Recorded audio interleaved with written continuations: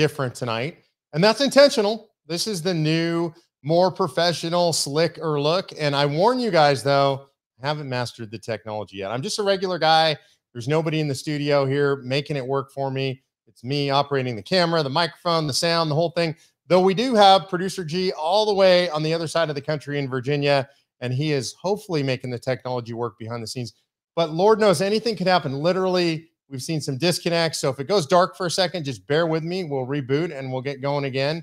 You can see the dogs in the background. On the couch is uh, Levi, and behind me over this shoulder, I don't know if you can see this. Can you see that's Gideon over there? And you can see we've got kind of a new scene set here. This is the same library you're used to. It's the bookshelves behind me, but you also see the spiral staircase up to the second level of the library. So we just kind of wanted to have a little bit more interesting setup for you, a little bit better lighting. You know, we're growing up. We're trying to be professional for you guys because you guys are pros. So I'm trying to be a pro.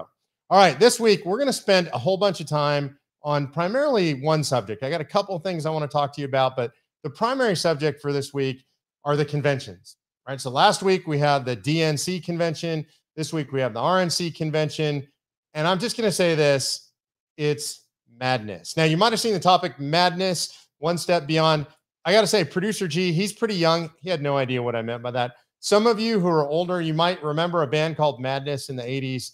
They were a ska band. I was a new wave guy. I was a punk rock DJ. I admit it. Blue Mohawk, dog Collar, the whole thing. Madness was one of my favorite bands, and they had a song called One Step Beyond. And I think that's where we're at because we are sort of one step beyond reality here. It's crazy First of all, online conventions. It's weird. You know, it's weird enough that you and I and all our friends and business associates, if you can work online, you've been probably working from home and you're doing a whole bunch of Zoom meetings or Slack meetings or Skype meetings or whatever technology you're using. And it's a little bit weird, right? It's not the same as sitting around a table with your friends or your business associates. And so it's strange. Sometimes it's a little bit stilted. People step on each other kind of awkward, people trying to be excited and enthusiastic, even though they're in a room by themselves. There's no audience reaction. It's weird when you're a speaker and you got no audience reaction, kind of like this, right? I, it, I can't tell what you guys are thinking. In a live hall, the audience cheers and claps and jeers and boos. There's none of that. So I got to say, I have empathy for the speakers, whether they're at the DNC or the RNC to come. It's just a hard thing to pull off online hours and hours of content live. It's funky. All right. So let's have that caveat for everybody. A little bit of sympathy for all of them. And you know, I don't usually have sympathy for politicians, so that's a little weird. Okay, so we let's talk a little bit about the substance of the DNC convention. I think there were actually two DNC conventions. One DNC convention was the one that you saw in prime time. And during that DNC convention, you saw a whole bunch of American flags. They said the Pledge of Allegiance heard the national anthem, a lot of stuff that you would see kind of at any political convention. It was what I would describe as the veneer of the convention. You saw even John Kasich. Unbelievable, right? I think he was a Republican at one point. Anyway, you saw just sort of they tried to put on their mainstream middle American face. With the veneer of the convention, in the prime time of the convention, what they were trying to say to you is, hey, don't look at Portland, where things are still burning 80 days into the riots. Don't look at Seattle, where last night there was rioting. Don't look at Los Angeles. Don't look at Oakland. Don't look at Baltimore. Don't look at the places that are burning. Look here at the clown show, right? We don't want you to see reality. We want you to think that we're just like you. We want you to think, go to church, we say the pledge, we do everything you do. That's the veneer of the convention that you saw at the DNC it concluded, and I'm going to jump to the conclusion and then work backwards. It concluded with Joe Biden's speech. And I have to say, I'm not going to be like most conservative commentators and just rip on Joe Biden. I think he stepped up to the plate. I don't think it was a great speech. MSNBC, NBC, ABC, all the BCs, they're going to tell you that it was the greatest speech of his career, that he was the man for the moment, that it was incredible and emotional, inspiring. It was none of those things but he had a low bar. Joe Biden needed to show up, he needed to be cogent, which is something he's had a hard time doing for a while now. And he needed to be able to read off a teleprompter, which he's fine at reading off a teleprompter. So I have to say, the speech was, I think, fairly well crafted. I think he did what he had to do. I think he stepped up to the podium. I think he spoke clearly. I think he didn't sound like he had dementia. That was really the bar. And I think, honestly, in a way, this was a mistake by the Republican Party because the main attack on Joe Biden's been he has dementia, he's incapable, he's sleepy Joe, he has no enthusiasm. He didn't look like that at the DNC. He didn't look like that when he accepted the nomination. He looked like he was there and cogent and on the mark. The speech was fairly well written. And so I have to say, I think Joe Biden delivered. And this is important. It's important because I think you and I have to be able to be honest. We can see it through a filter. Look, I don't make any bones about it. I'm a conservative Christian. I'm a Tea Party guy. I'm a right wing guy. I make no bones about that. But I also have to be able to say what the truth is as I see it. And I have to be able to strip away my perspective, right? My conservative perspective. I don't like Joe Biden. I don't like what he stands for. I don't believe he's truthful. I just believe it's all veneer. But when I'm going to analyze a speech, I want to tell you truthfully what I thought of the speech. And that's what I thought. Just basically not a bad speech. It was fine. And so that was Joe Biden. Let's talk about Kamala Harris. I think pretty much the same thing. I think she delivered a decent speech. I think she came across as likable enough. I think she stepped into the moment just fine. Again, you saw the BCs, ABC, NBC, MSNBC, all these networks, they were drooling over Kamala Harris. They were drooling over Joe Biden. It was not the most amazing speech of a lifetime. It was not captivating. It's not going to motivate anybody who wasn't already going to vote Democrat. And make no mistake, they're voting Democrat. Right? When you look at the polling, a full 57% of people that say they're voting for Joe Biden say they're not voting for Joe Biden because they like Joe Biden or because they like Kamala Harris. They're voting for Joe Biden because they're voting against Donald Trump. This really is going to be a referendum on Donald Trump. So you've got the two main speeches Kamala Harris, Joe Biden. I think they stepped up to the plate. I would say, you know, maybe they hit doubles, no homers for sure, more than a base hit, because I think they both delivered decent speeches, well written speeches, well crafted speeches, and pretty well delivered. All right. I know I'm going to get some hate comments for that, but that's just how I see it. And I'm always going to call balls and strikes with you guys. Remember, I look, everybody says there's two sides. I think there's another side. I think there's a new side out there. And the new side is people like you and me that are willing to actually just look at this stuff objectively and call it like we see it. So that's how I see the speeches, the main speeches at the DNC. That's what I call the veneer of the DNC. Underneath the veneer, right, is the particle board, the garbage, the stuff that's been chewed up and spit out and glued together and stuffed underneath the veneer. It's the Bernie Sanders wing of the party. It's the AOC wing of the party. And it's full blown nuts. It's Marxist. And there was open look, there were people on panels earlier in the day talking about being frank that this is about tearing down capitalism, tearing down our system, destroying the system. This was openly discussed at the DNC by people in platform committee, like openly discussed stuff. This is a weird thing that was missing. Did anybody hear any mention of Portland? Any mention of riots? Any mentions of looting or violence in the streets? How do you do an entire convention when the country's burning in in many, many, not all, but many of the major Democrat-run cities? By the way, kudos to Detroit, a Democratic-run city that hasn't let the riots run wild run wild. But how do you go through an entire convention without doing that? Without no mention of the violence, no mention of Antifa, no mention of Black Lives Matter looting and destruction. It's dishonest. See, this is what's underneath the veneer. It's the AOC wing of the party. I don't know if you saw AOC's speech. You might have missed it because it was boom. It went by. It was 60 seconds they gave her. So this is them trying to hide the radical wing of the party from the American public one of the things she said is she endorsed Bernie Sanders, right? And this is fair. This is where she comes from in the party. I don't think it was so wild. A lot of people made a big deal out of it. I would expect her to side with Bernie Sanders, but this is now the Bernie Sanders platform. It's the Bernie Sanders party.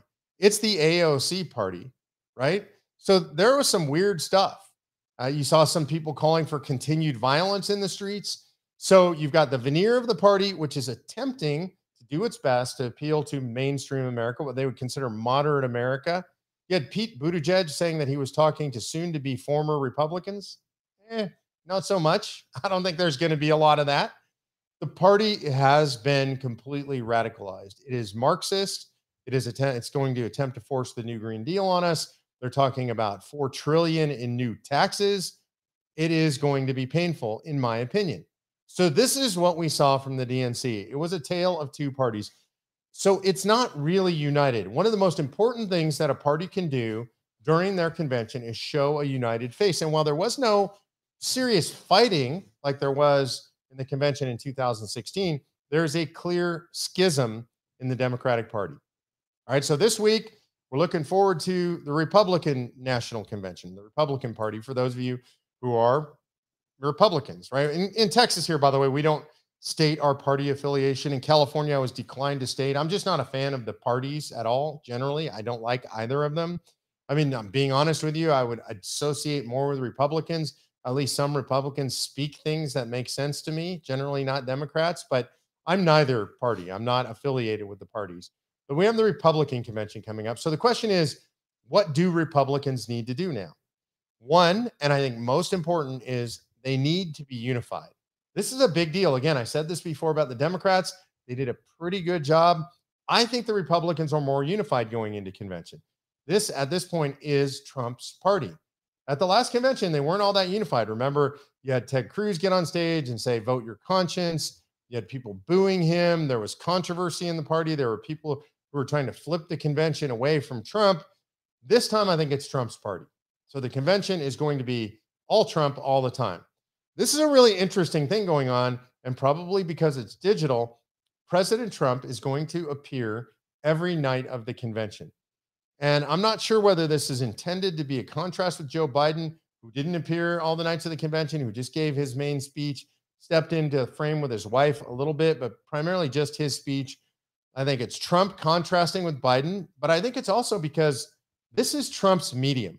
This is a really interesting contrast, right? Television, Biden can do it. He can read off a teleprompter, but television is where Trump's legend was made. I mean, he is a reality television star, he's a reality television host. This is the ultimate in reality television. So, theoretically, not saying he's going to, he could shine. This is Trump's to blow, by the way, and it's possible he blows it because he does blow these things sometimes. By the way, you guys are going to see me look off screen here occasionally. I've got uh, producer G is slacking me your comments, so you can give your comments to him. He's going to feed them to me on Slack, but I do have to look up occasionally to look at those. Okay, so Trump's going to go out. He's going to do what Trump does. And what, if you like Trump, if you like the Republicans, you have to hope that he does what he does best on camera and not what he does worst on Twitter. The president, people don't like his Twitter. A lot of people don't like his Twitter. Now, I got to be careful. I know you're going to yell at me for this. You love his Twitter. There are people who love his Twitter, but a lot of people don't. And a lot of people I talk to all across the country say, look, I love Trump. I love what he does But when he does the Twitter thing sometimes, eh, I don't like it so much.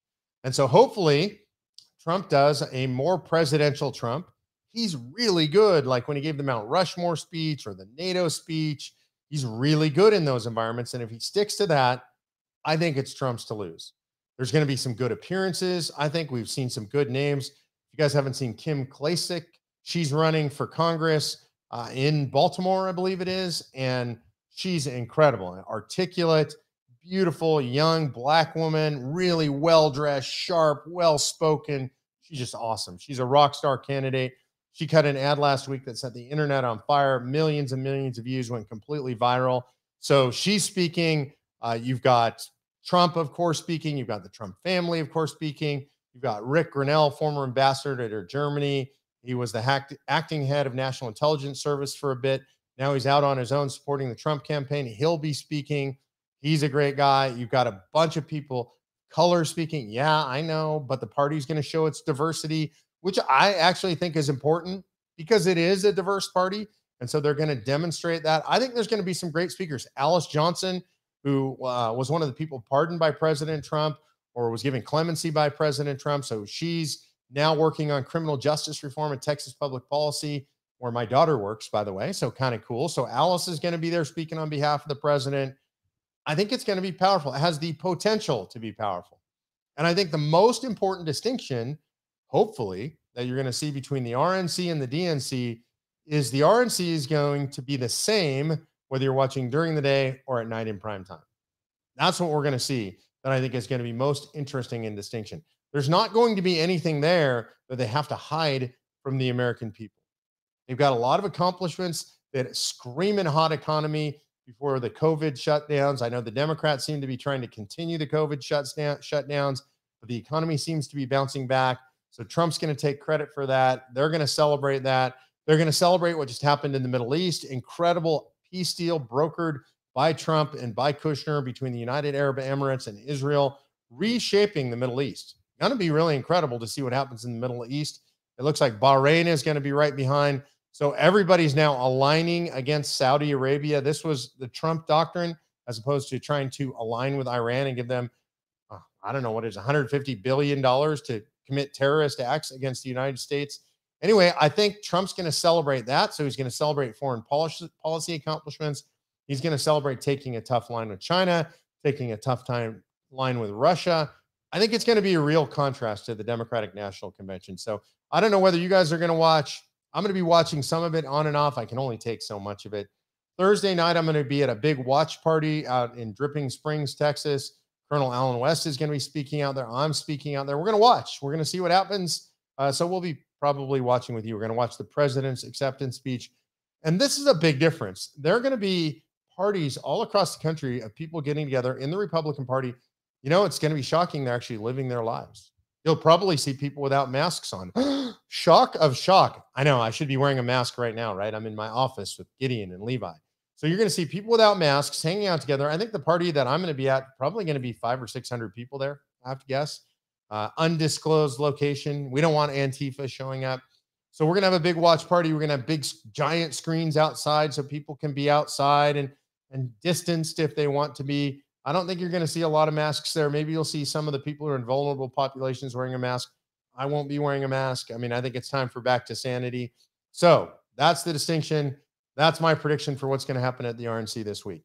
Saw some interesting footage this week from Trafalgar Group. Now, if you haven't heard of Trafalgar Group, they were the most accurate pollsters in 2016 and 2018. The only pollster, by the way, to call Florida for DeSantis. They had it right. They were the most accurate in regard to the Electoral College. It's Robert Cahaly runs Trafalgar Group. I know Robert. I work closely with Robert. Great, fantastic patriot. He's out there doing independent polling. He says neck and neck right now. He says it's about 50 50. And he says, just like in 2016, just like in 2018, the other pollsters have it wrong. So I think Cahaly's most likely to have it right. I think it's neck and neck right now. I think this is going to happen at the margins. In other words, who's going to get out the vote? There's a couple of ways to look at this. One is who's most enthusiastic. Right now, advantage Republicans. Right? And the Republicans say in every poll they're more enthusiastic to vote for their candidate. However, I think there's a flip side to that that doesn't get polled, which is I think Democrats have real hate, like a burning, searing, passionate hate for President Trump. And I think that's going to drive them to vote. So I think the base of the party is pretty electrified on both sides. They're both going to come out and vote. So then at the margins, what do I mean by that? I mean people who don't normally get out and vote. Who's going to get those voters out the most? And I'm going to say, from a convention of states perspective, it's going to be up to you. And yeah, I do mean you personally. I'm asking you to do something which we don't normally talk about during election cycles, but I'm going to talk about it now. You're going to hear me talking about it a lot we want you to go out and get your circle of 10. And what I mean by that is you're going to go out and you're going to find 10 people that you are going to be responsible for to make sure they're registered. If they're not, you need to know how. We'll help you do that. And then get them registered and then follow them and make sure they vote. When I say follow them, I'm not talking creeper style. You don't need to follow them around, but I need you to contact them by phone, by text, by email, by whatever it takes, Pony Express, and make sure they vote. I like them to vote early. If they are voting absentee, make sure they've got their absentee ballot. I wouldn't say generally vote by mail. I don't like vote by mail. You never know if your ballot's going to get in on time or not. If you're doing it early by absentee, get that done. And then in person. That's my favorite. Go vote in person. That's a big part of being an American citizen. So we're going to count on you to get your circle of 10 and to report back to us that you're doing that. We'll have a program out for you shortly on how that all works in a form you can download so you can do that.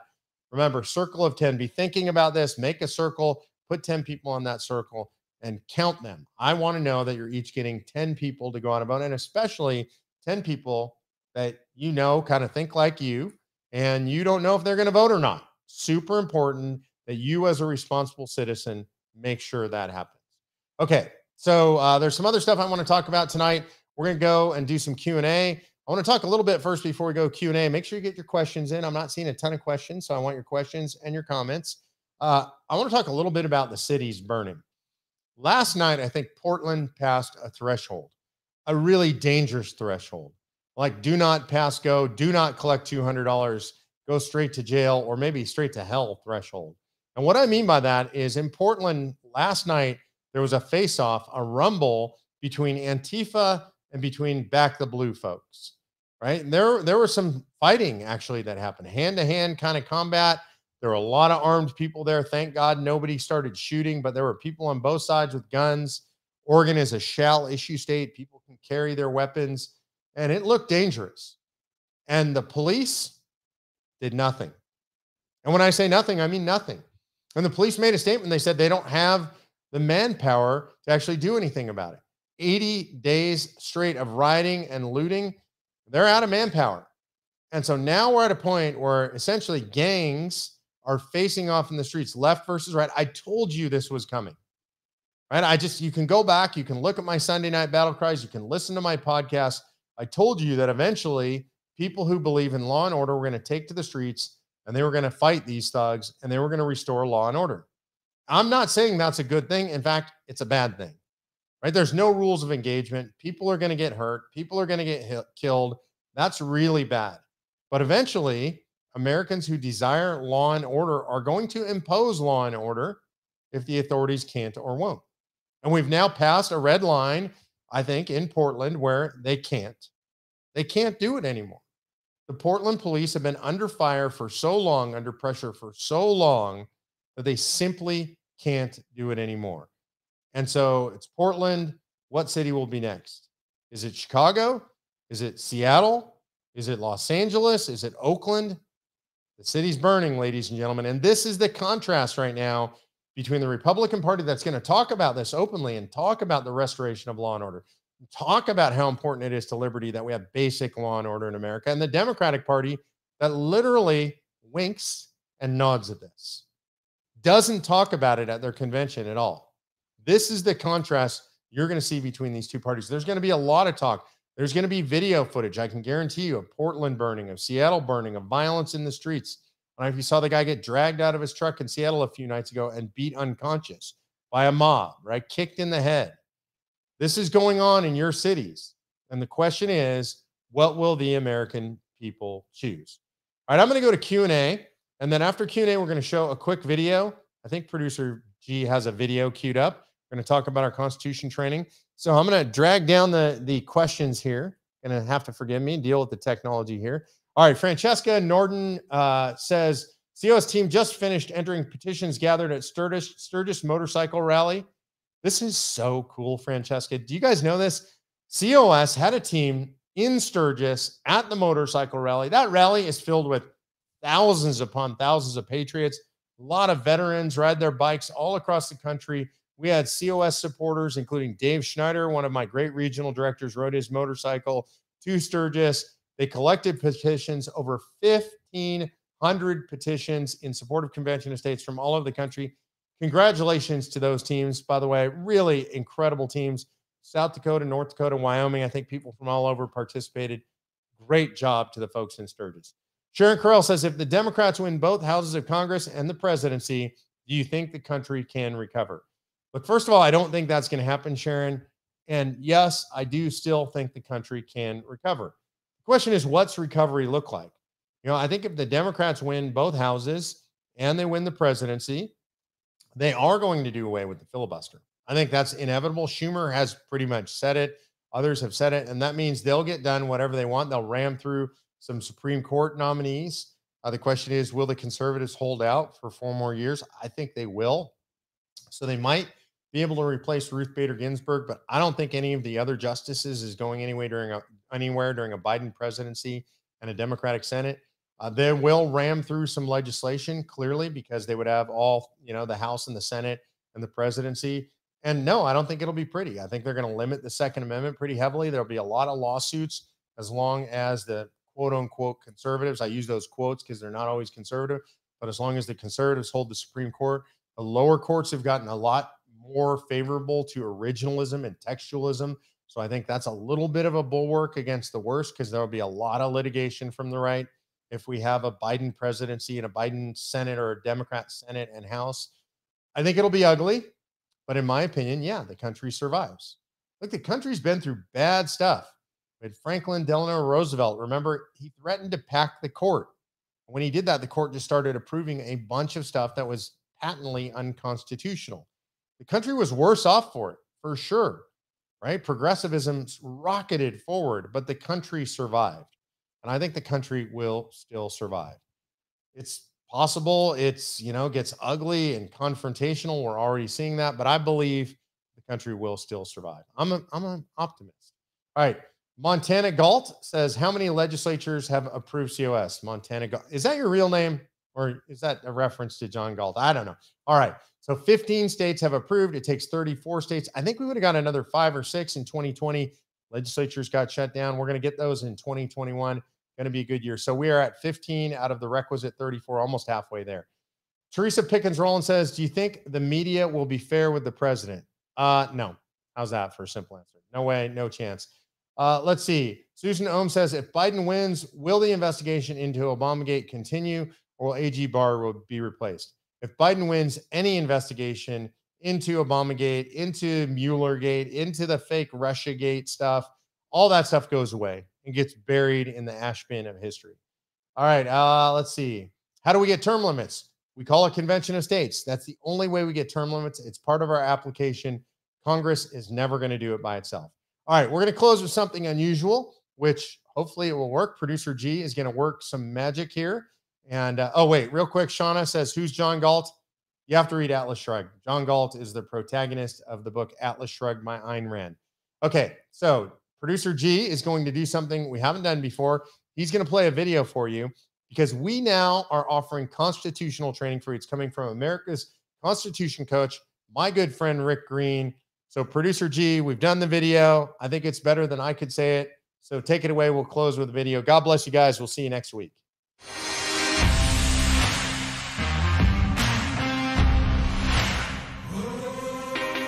Hey, Mark Meckler here, and I am with America's Constitution coach, Rick Green, at his place. You might recognize the studio. I'm not home in the library. This is his library. So the dogs aren't here. Yeah, you won't see yeah. Gideon and Levi. I didn't load them in the car today. They're a bit much. 300 pounds of Great Dane in the car. They might not have fit in my yeah, studio. They exactly. fit in your, yeah. so the reason we're here is because we have something incredibly exciting to announce, and it's this. For all of you folks out there in Convention of States land, you know I love the Constitution. I know you love the Constitution.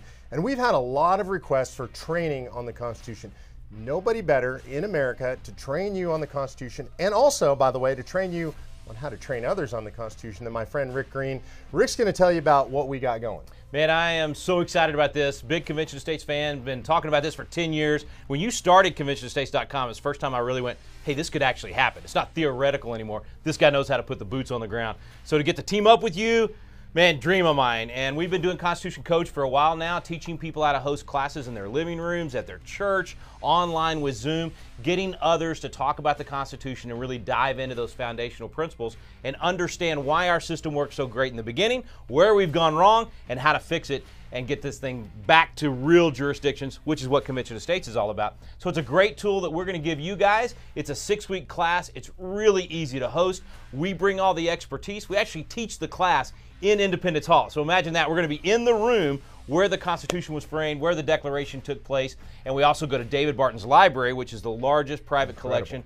of Founding Fathers documents. It's a really fun way to do history and government in, a, in an entertaining way. So in other words, it's not going to put you to sleep like most Constitution classes. You'll actually enjoy it, and it'll get your folks fired up about getting involved and being a good citizen. Well, and this is why it's so important, and I can't overemphasize this. You folks are different because you're activists. You're not just sitting there on your couch watching stuff. You're not just yelling at the news. What I brag about y'all all the time is that you're out there in the field doing stuff. And that means you actually have an obligation to understand the Constitution. I know you love it. I love it too. The question is, how well do we understand it? Do we understand it well enough to teach other people? That's a big deal, right? right? Because government's not going to do that for us. Lord right. knows, right? We have to do that. That obligation is our obligation. That means it's your obligation. So, in a way, kind of you're almost obligated to sign up for this. And you are fulfilling what Chief Justice John Jay said. He was the first Chief Justice of the Supreme Court, one of the authors of the Federalist Papers, one of the guys that gave us the Constitution. And he said every one of us, every citizen ought to read and study. So it's not enough to read it and say I love it, but read and study the Constitution so we can teach the rising generation to be free so we'll know our rights, then we'll perceive when our rights have been violated and be the better prepared to defend and assert them. That's his quote. That's really what drives the whole course, and it's why every one of us have a responsibility to do this. Just think about what will happen. You'll be the catalyst in your community. You're going to help build an army of folks that will help us restore our constitutional republic. We just want to equip you, give you the tools that you need, and we're looking forward to working with you on it. Look, and you guys have been asking us for this for a long time, literally for years. I feel a little bit remiss here that it's taken me this long to get to this. You've been asking for constitutional training. Kind of embarrassed to say we live an hour apart. and the first time we've exactly. got together on this, yeah. First time over here. So it's my fault. I take the blame for it. But now I'm going to pass the responsibility to you. Do what I know you do best be an activist, be engaged get educated, sign up with Rick. You'll you'll tell them how to sign yeah, up? Yeah, let me just give you 30 seconds real quick. If you if you scroll down this page, click on one of the buttons on becoming a Constitution coach. And it's really easy. Once you sign up, and it's totally for free, once you sign up, all the tools are right there. You'll be given a coach dashboard, and in that dashboard, all the tools are available. We take you through a quick training.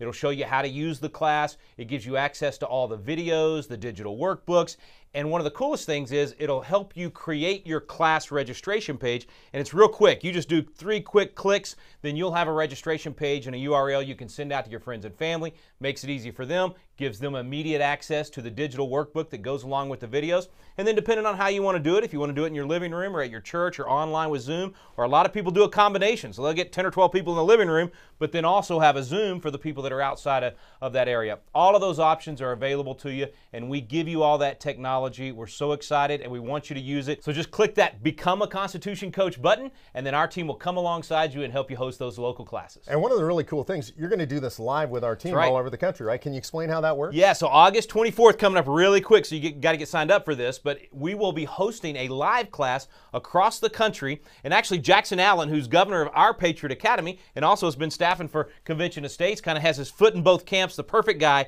to be our MC and host of this live class. It's going to happen on Monday nights starting August 24th. You can sign up, it's free, and that way you kind of go through the class with us before you coach a class if you want. Now, a lot of people start their own class immediately, or maybe you want to do one class with us, and then you'll get so excited you'll be ready to start your own class. But either way, we're going to have six weeks in a row of us doing Monday night together. We'll play the videos, and then I'll do a live Q&A after the class. That way, if you have questions, we can enjoy some time together. I'm excited about that. I'm going to participate in that live class, by the way. I know Jackson. I've had a chance to mentor him.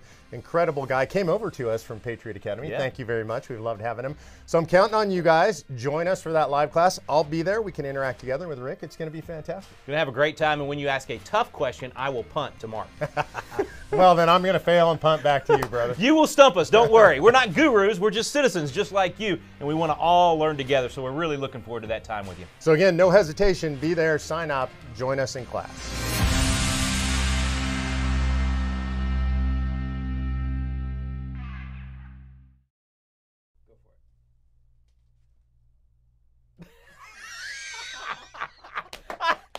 you were starting. Or am I? the auspicious That's, that is the perfect The Mark and Rick show.